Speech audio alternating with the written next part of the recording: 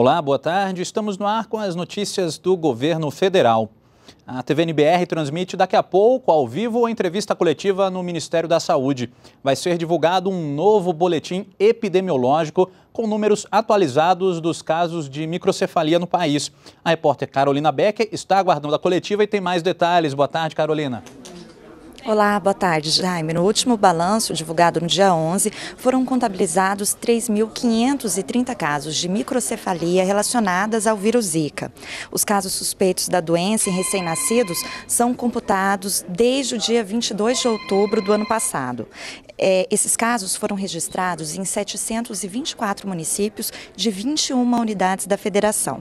Também são investigadas 46 mortes de recém-nascidos que podem estar relacionadas ao vírus Zika. A coletiva deve começar logo mais e vai ser transmitida aqui pela NBR. Jaime. Carolina, obrigado pelas informações, bom trabalho. Bicicletas, cosméticos, medicamentos, alimentos e aparelhos eletroeletrônicos passaram por recall por apresentar defeitos que poderiam prejudicar o consumidor. Os itens mais trocados foram de automóveis.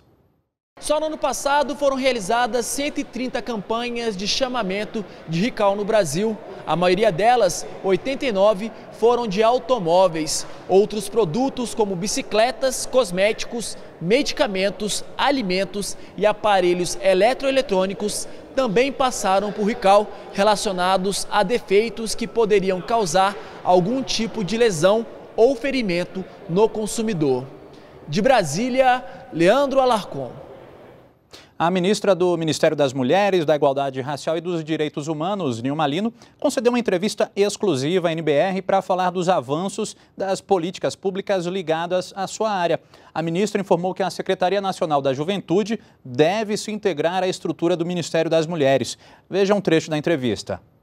Esse ano ele tem como objetivo dar continuidade às agendas específicas que cada uma das secretarias que o compõem é, já, já tinham programado, já tinham sido programadas. Então, dar continuidade a essas ações.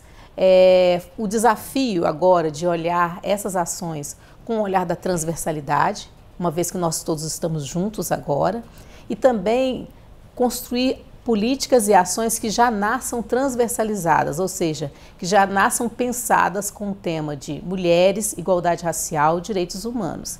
E além disso, uma novidade, talvez, é que o Ministério também vai incorporar a Secretaria Nacional da Juventude. Então, também a juventude vai ser um dos nossos temas e dos nossos objetivos de atuação. A entrevista completa com a ministra você assiste às 8 da noite aqui na NBR, logo após o NBR Notícias. Nós voltamos a qualquer momento com outras informações ou com a transmissão ao vivo da coletiva no Ministério da Saúde.